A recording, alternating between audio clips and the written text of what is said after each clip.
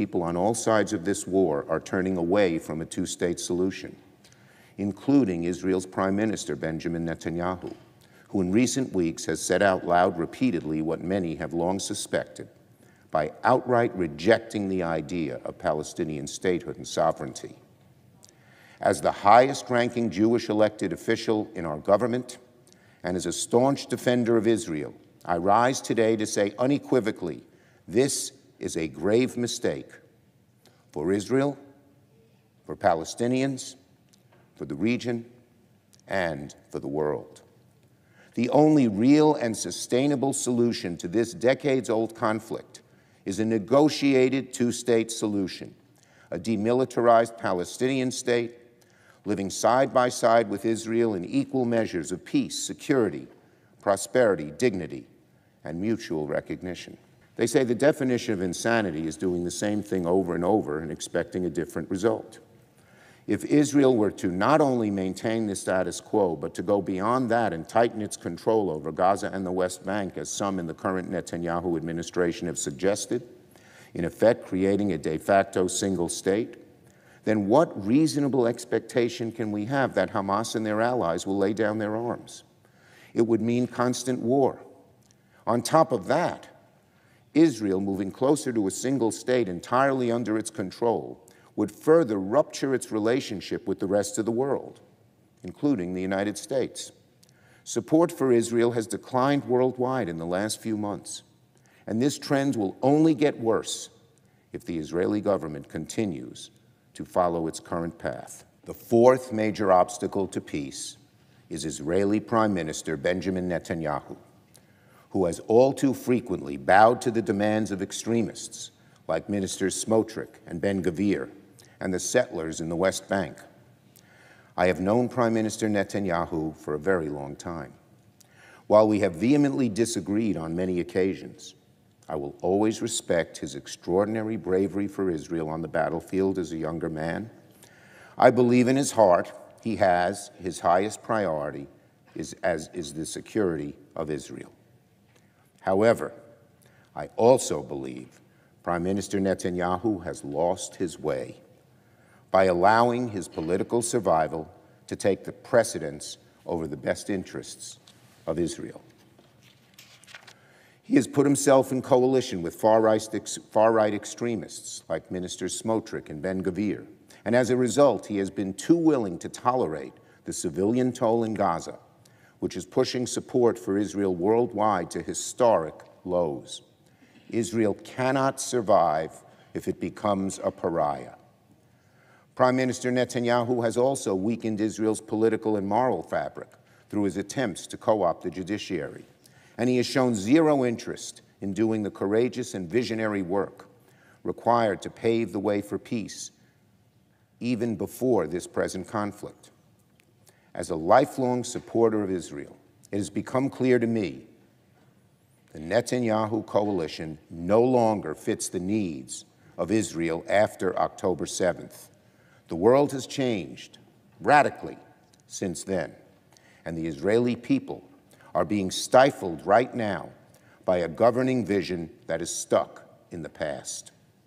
Nobody expects Prime Minister Netanyahu to do the things that must be done to break the cycle of violence, to preserve Israel's credibility on the world stage, and to work towards a two-state solution.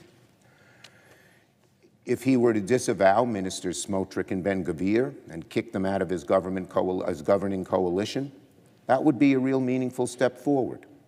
But regrettably, there's no reason to believe Prime Minister Netanyahu would do that. He won't disavow Ministers Smotrich and Ben Gvir in their calls for Israelis to drive Palestinians out of Gaza and the West Bank. He won't commit to a military operation in Rafah that prioritizes protecting civilian life. He won't engage responsibly in discussions about a day after plan for Gaza and a long-term and a longer-term pathway to peace. Once Hamas is deprived of power, the Palestinians will be much freer to choose a government they want and deserve. With the prospect of a real two-state solution on the table, and for the first time, genuine statehood for the Palestinian people, I believe they will be far more likely to support more mainstream leaders committed to peace. I think the same is true for the Israeli people. Call me an optimist, but I believe that if the Israeli public is presented with a path to a two state solution that offers a chance at lasting peace and coexistence, then most mainstream Israelis will moderate their views and support it. Part of that moderation must include rejecting right wing zealots like ministers Smotrich and Ben Gvir and the extremist Israeli settlers in the West Bank. These people do not represent a majority of the Israeli public, yet under Prime Minister Netanyahu's watch, they have had far too much influence. All sides must reject from river to the sea thinking, and I believe they will if the prospects for peace and a two state solution are real. Israel has the right to choose its own leaders, and we should let the chips fall where they may. But the important thing is that Israelis are given a choice. There needs to be a fresh debate about the future of Israel after October 7th. In my opinion, that is best accomplished by holding an election. Now, if President Net Prime Minister Netanyahu's current coalition remains in power after the war begins to wind down and continues to pursue dangerous and inflammatory policies that test existing U.S. standards for assistance, then the United States will have no choice but to play a more active role in shaping Israeli policy by using our leverage to change the present course.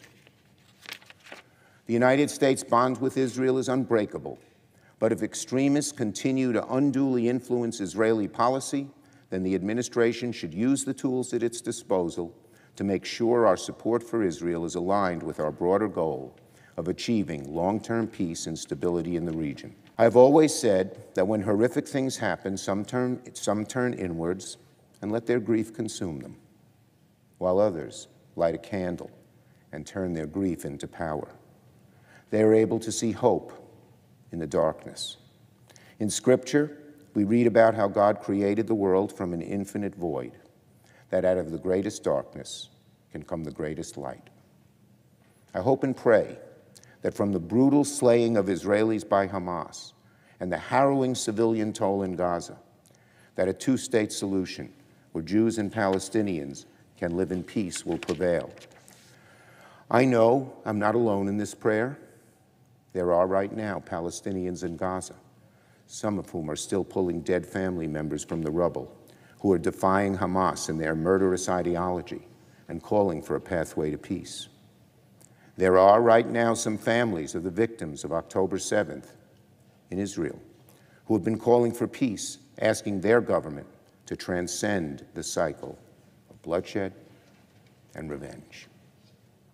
If they can find in their hearts path to peace, peace, then surely we can also.